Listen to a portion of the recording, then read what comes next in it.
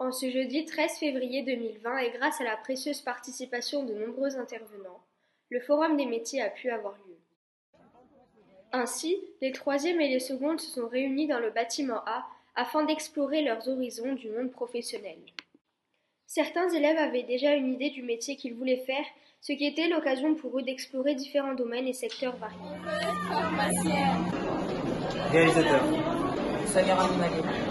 Architecte. Directrice d'hôtel. Pilote de chasse. Tu veux être coach sportif. Prof de PS.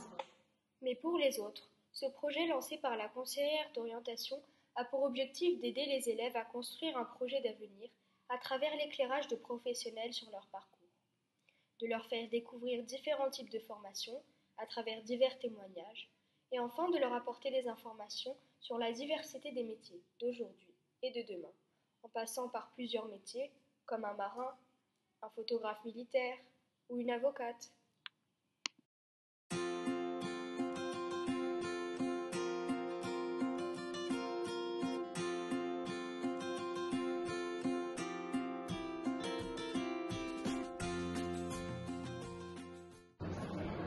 Bon, bah, écoutez, je trouve que c'est une euh, excellente initiative, c'est le Forum des métiers. Euh, bien sûr, il faut remercier euh, tous les professionnels qui sont venus cet après-midi nous rendre visite, un peu plus d'une trentaine qui sont là pour tous nos élèves de 3e et de seconde.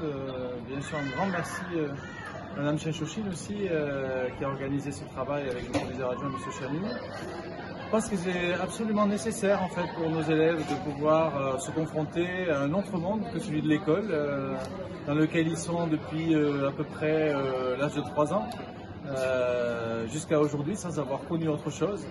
Souvent, ils ne connaissent même pas le métier de leurs parents de façon très précise. Donc, c'est bien d'ouvrir les yeux, les oreilles et d'essayer de se projeter un petit peu, puisque c'est le travail aussi de lycée, d'accompagner tous ces élèves du collège et aussi plus spécifiquement après au lycée vers leur formation supérieur qui les conduira vers euh, aussi euh, un autre avenir et quelque chose de brillant certainement pour eux. Donc euh, je suis bien absolument ravi d'avoir pu contribuer à ce que cet événement voit le jour ici à Massimo cette année.